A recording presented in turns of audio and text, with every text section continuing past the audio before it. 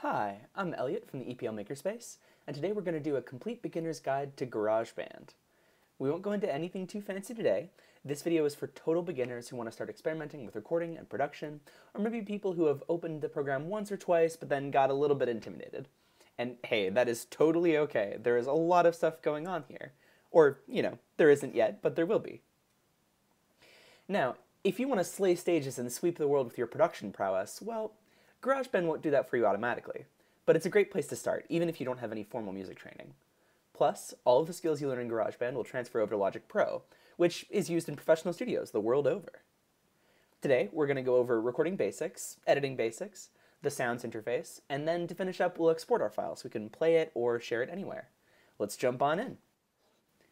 So the first thing that's going to come up when you open GarageBand is this, choose a project type. There are some good templates here to get you going uh, with a good selection of keyboards or like basic voice effects uh, or tools to start producing beats over here, but we're going to start with an empty project. Once we do that, we'll have the choose a track type interface for our first track with four different options that I'll go through now. So the first one is, is the software instrument. We'll use this option if we want to connect a MIDI device, and MIDI just stands for Musical Instrument Digital Interface. Or we can even use our regular computer keyboard for inputs. The second one is a microphone or line input. Uh, use this if you have a microphone connected or anything else that can be connected to the computer by a USB or quarter inch patch cable through an external audio interface.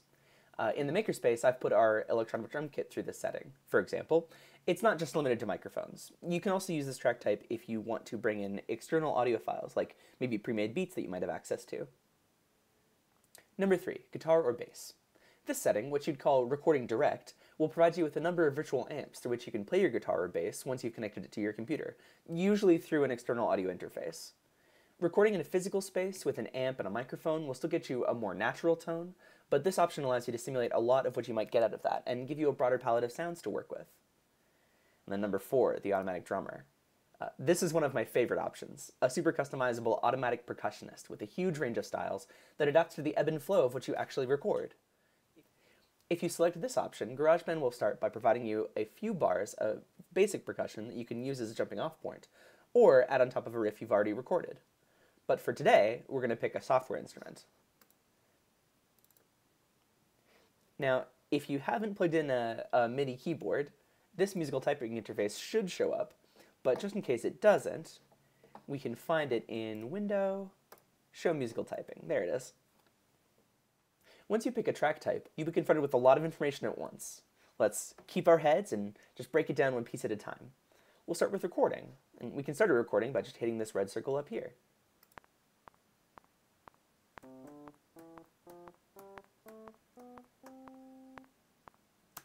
All right. So, you would have noticed that uh, while I was doing that, I used my spacebar to stop recording. Um, you can also just click this little stop button right here. So I'll hit play, and then once I hit stop, this button, the stop button, is going to change into this button that'll get us right back to the beginning. It's very helpful. And while I was doing that, you might have noticed this clicking sound. Uh, that's because the metronome is on by default. This might seem annoying at first, but once you get used to it, it's a really helpful tool for keeping all of your tracks lined up and in tempo.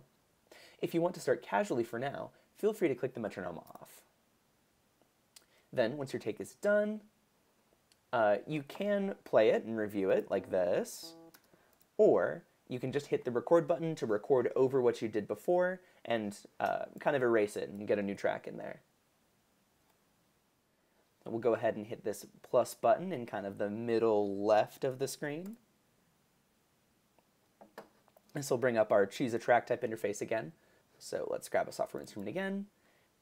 Now we'll be able to switch between the two tracks. You can tell which one you have selected by what appears in the top left of the screen up here, uh, or which track is a lighter gray. So now I have the first one selected, now I have the second one selected.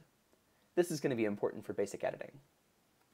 Changes you make here will only apply to the track you have selected. So now that we've recorded something, we can slide it around to make it play at different places in time. We can also split those recorded portions. We can do different things with each half. We can do that by going Edit, Split Regions at Playhead. As you can see, this is the playhead. It tells us where we are in the song. And now we have two different tracks that we can slide around and kind of make them play at different times.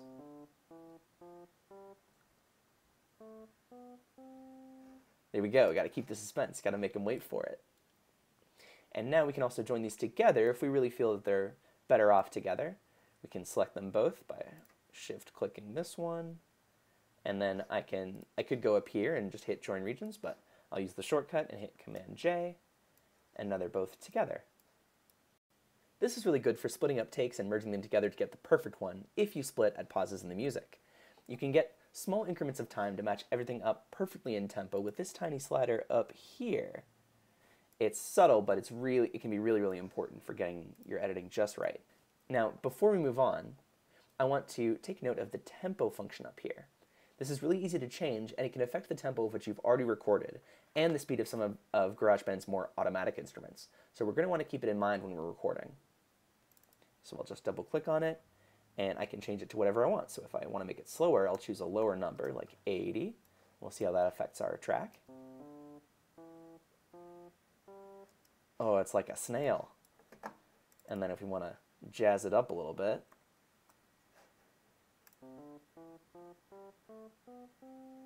all right. Let's get it back to a more even 120. Now, there is a way to change tempo partway through a song, but we'll leave that for a more advanced video. There's a lot you can do with editing, like switching tempo partway through a song or adjusting the volume on individual tracks, but this is enough to get you started so we can move on to the juicy heart of GarageBand. It's different sounds. The sounds interface is here on the left. For line inputs and instruments, think of the options here like camera filters. They're effects that will be applied to simulate environments or kinds of amps. This is how you can make something sound more natural or drastically change its timbre. And timbre is just the quality of a sound, the way it sounds. And you don't even really need to decide which one of these you want up front. Click on any one of these sounds while having a track selected and you'll apply that effect to that track. But for software instruments like we have here, the sounds interface will essentially change the instrument you're playing. Different sounds will come out of your keyboard when you tap a key. Anything from a piano to an orchestra sting uh, to a drum kit. If you're new to making music, I'd highly suggest you play around with something from the arpeggiator category. Let's see, I'll grab one of my favorites, the Dripping Cycles. Now, here, if you hold down a couple of buttons, you're basically halfway to a song. Check it out.